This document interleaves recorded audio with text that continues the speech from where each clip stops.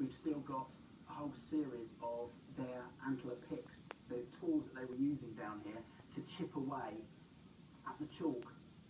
Now, using the end sometimes to batter away blocks and also to lever flint up. It's the exceptional properties of flint found at these depths that makes it so desirable.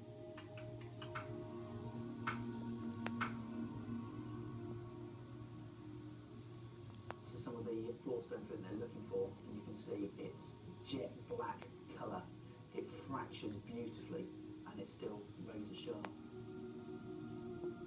Excavated bones from another Neolithic flint mine reveal the constant threat of danger these early miners face.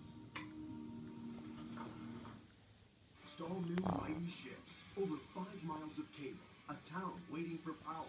Does this vessel have enough voltage to handle the job? Mighty ships. Stemat Spirit. Sunday at 9. When someone gives you the name of a doctor, the only thing you know for sure is you don't know anything about that doctor.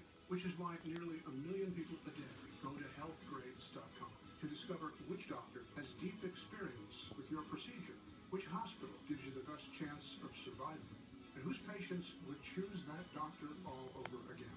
Before you visit a doctor, visit us and learn if the name you got is really the doctor you need. Healthgrades.com. How America finds a doctor. Smithsonian Magazine brings you a celebration of history, science, nature, and world culture.